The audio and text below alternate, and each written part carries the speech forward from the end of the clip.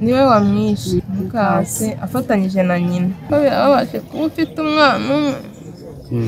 Umuruhana umuruhana umuntu akaza akamugutwara. Yavuyemo hariya baraza bamujugunyaho byerekane ko bikanze abantu bagiye nko kumuta hepfo aha ngaha mu ruzi. Turashyira mu majwi y'uko umwana yishwe na mukase hamwe na nyina. na nyina ndetse na nyirakuru arimo.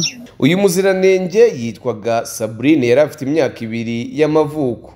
Umurambo we waje gusangwa mu miyenzi aho abaturage bashyira mu majwi mukase kuko ari we bari birirwanye ku munsi w'ejo bityo bikaza kurangira mu gitondo cyo kuri uyu wa kabiri umurambo we usanzwe muri miyenzi yamaze kuhasiga ubuzima. Aba baturage batuye mu kagari ka nzove umva uko babitangaza. Ntabwo nirirwa inanga. Nahageze nimugoroba. Nimugoroba bambwira yuko babuze umwana. Ariko abana benshi bo muri iyi karitsiye bamuzi biriranwa bakina bakambwira yuko yajyanye na nyina wabo. Nyina wabo aramujyana ngo amujyana kwa musaza we. Amujyanye kwa musaza we ubwo urumva ko yamugaruye kuko hari intera kuva hano kugera hirya iriya kwa haruguru yo kwa kiki noneho ngo amugaruye amujyana kwa nyina ubabyara. Umubyara we na musaza we. Byerekane yuko uwo mwana yapfuye ari havuye. Kuko yavuyemo hariya baraza bamujugunyaho byerekane ko bikanze abantu bagiye nko kumuta hepfo aha ngaha mu ruzi. Ari hariya mu nkiki komera afite uretse kumubonana urufuzi kandi byerekane yuko ntabwo yaharaye. Bahamujugunye mu gitondo bagiye nko kumujugunya. Nko kumujugunya bikanze baramujugunya. Ikintu yazanye ni urufuzi nta gikomere afite.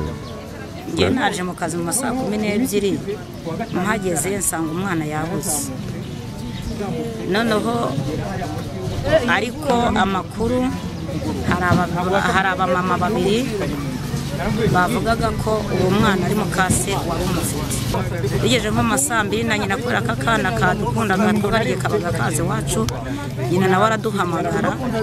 Natwe ngiye muha amakuru mubwira ko abo bamama babiri ari bo agomba kujya kubaza ko ashobora kuba ari bo bazi amakuru y'uwo mwana kuko bo bamubonanye ari kumwe na, mukase barimo kujyana. Bamubonanye bari kujyana bagendana mu gihe cyose twamuboranye ni we bari bari kumwe nabo ubu rero kubera ko bavuga ko afite umusaza we hirya ari we bita kiso barajyanye bamaze kujyana rero ubwo umugore wose twamushatse.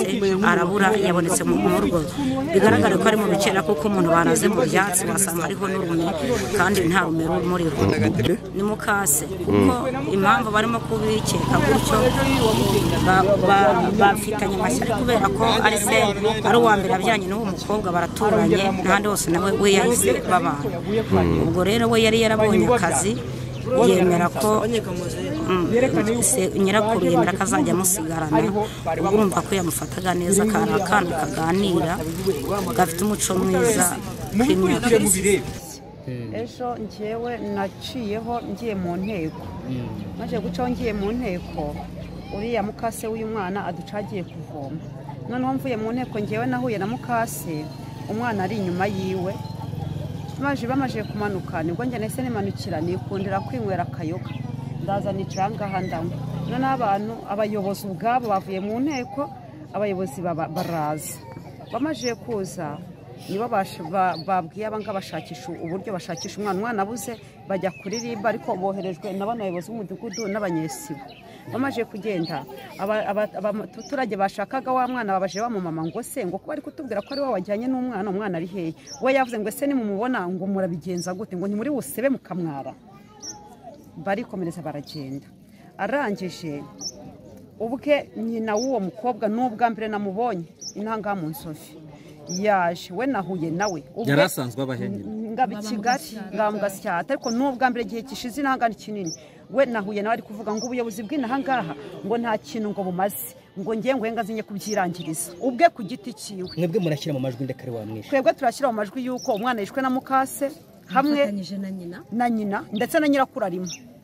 Kuko n'ubundi mu bigaragara umurambo ntabwo umwana yaraye yishwe nimugoroba igihe yaburiye ni kinini umwana yaza ko yishwe yari gutondwa n'ikimwe cyangwa akajya n'agasimba kamujyaho. Umwana ajugunywa aha ngaha mu rukerera. Mwasaza ameze ate umwana rwose nta kibazo usibye nyine kumuniga n'urufuzi rwari rumuriho ariko umwana yiciwe mu nzu umwana abikwa mu nzu. Noneho babonye ko umwana ari bugaragare mu nzu ni bwo bamufashe bagiye kumujugunya. Bikanga yuko hano wenda hari hagira umuntu babone ba- ba- bashobora no kumutsinda igihe mu bigaragara muri ino tuwarete iyi tuwarete basanga irafunze. Basanze ifunze bashaka kugira ngo bajugunye muri nyabarongo babona ahangaha hari gutambuka abantu n'undi bahoze babashaka ni bwo bahise bahitamo kumutsindagiramo ahangaha. Turabashimiye. Murakoze. Mwebwe murakeka ko ari nde waba wamwishe mama? Njyewe nanjye uko inkuru nyumvishije mu gitondo ariko nimugoroba mva mu nteko navuye mu nteko mfite amakuru y'uko uyu mubyeyi umwana we yabuze arimo kumushakisha. Mu gitondo nka saa moya rero ni bwo tumenye mu makuru y'uko umurambo w'umwana bawubonye mu miyenzi mu micinyiro y'urugo nyine mu miyenzi hariya tuje dusanga umwana. Mu by'ukuri njye nkibyumva ndababaye. Ndavuze ibi bintu biri kuri uyu musozi ni indengakamere uyu ni umwana wa kane dupfushije muri uyu mudugudu wa ruyenzi akagari ka nzove kandi biri kuba ku bana b'abakobwa barimo babyarira iwabo. Ntabwo bari gufata njyewe ufite umugabo hariya wenda ngo bakore mu nda yabo twabyaye ukibaze se kuki ibi bintu byibasiye aba bana b'abakobwa barimo babyarira iwabo? Ngende kumva byarambere byamaze kumbera ihurizo mu buzima bwanjye ntabasha gusobanura ntabasha no kwakira. Birakekwa ko ari nde wa- mwe murashira mu majwi amajwi ari gushyirwamo ari gushyirwamo mukeba w'uyu mubyeyi mama w'uyu mwana wapfushije umwana hakazamo na nyina umubyara ari we nyirabukwe w'umugabo bagashyiramo na nyirakuru. Mu by'ukuri twebwe ikintu turi kwifuza nk'abaturage dutuye kuri uyu musozi mudufashe mudutabarize ubutabera bubashe kudufasha amakuru nyirizina babasha kwakira kuko nk'uko tuba twayatanze twayagaragaje tujye tubasha kumenya ngo ese ya makuru dutanga ajya ahabwa agaciro. Kuko dutanga amakuru tugaheruka dutanze amakuru. Ntitumenya ngo ya makuru twatanze byagenze gute.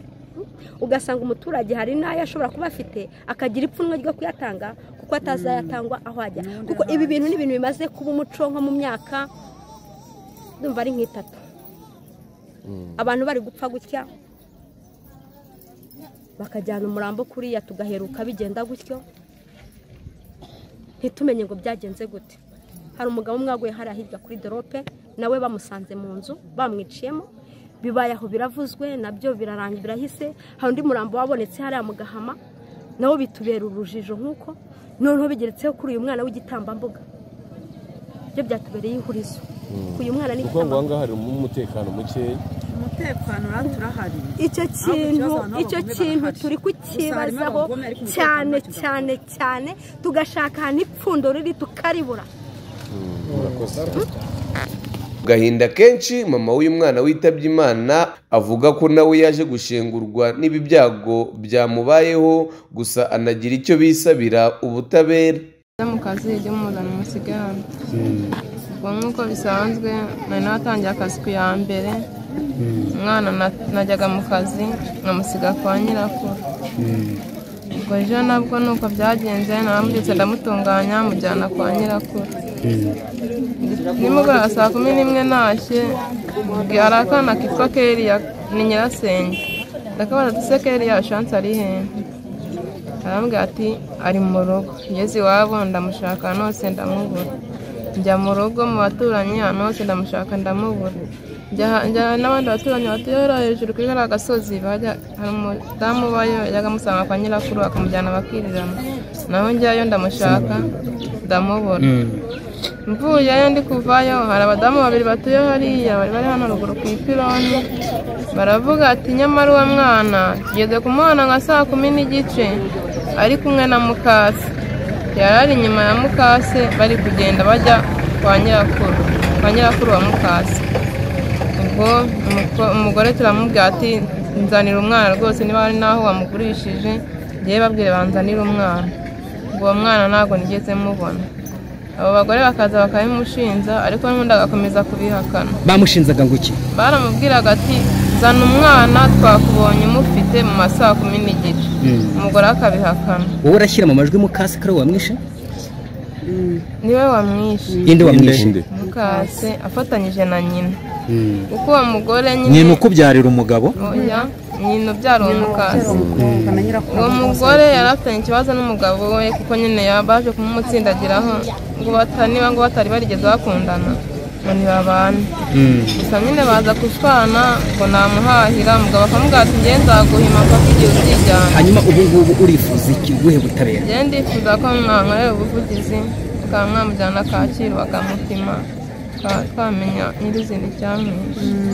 Mukase hari ikibazo mwari musanzwe mufitanye? Mukase nta kibazo mfitanye nawe gusa nyine umwana yari umwuzukuru wa mbere mu miryango umwana bamukundaga. Yari n'ishusho ya sepe basaga. Agahinda ufite ubu kameze gate? Agahinda ko ni kenshi cyane. Wakagaragaza ute? Agahinda ni kenshi. Ko birababaje kuba ufite umwana umwe. Umuruhana umuruhana. Umuntu akaza akamugutwara. Rero rwose mumwere ubuvugizi umwana bamupime koko barebe nyirizina icyaba cyamwishe. Kuko nyina yaraje aravuga ngo ubuyobozi bw'inaha ntacyo bumaze ngo reka nze mbyirangirize nyina nahuye nabo bahagararanye hariya ku ipironi njye mvuye mu kazi. Mukeba wanjye akimbona mbona yandebye cyane njye ndikomereza ndigendera umwana we yari afite imyaka ingahe? Yari afite imyaka ibiri. Amazina ye yitwaga nde? Yitwa umurerwa sabirine yari umukobwa? Yego. Urakoze. Hanyuma yari n'ishusho ya sepe basaga. BTN TV yifuje kumenya icyo umunyamabanga nshingwabikorwa w'aka kagari ka Nzove avuga kuri iki kibazo. Dore ko aho byabereye ari iruhande rw'aka kagari neza ubwo BTN TV yahageraga yasanze uyu munyamabanga nshingwabikorwa ngo hari inama yitabiriye. Gusa aba baturage bashyira amajwi hejuru cyarimwe bavuga ko uyu mudamu bivugwa ko ari we wahitanye uyu muziranenge. Ndetse n'abandi bose baba bafatanyije bagezwa imbere y'ubutabera bagakanirwa urubakwiye. Mu by'ukuri twebwe ikintu turi kwifuza nk'abaturage dutuye kuri uyu musozi mudufashe mudutabarize ubutabera bubashe kudufasha. Ubwo BTN TV yavaga muri aka gace uyu murambo w'uyu muziranenge wari utarakurwa ahangaha gusa inzego z'umutekano ndetse n'urwego rw'ubugenzacyaha bari bagikomeje iperereza. Ngendije hami iradukunda iyi ni BTN TV mu mujyi wa Kigali.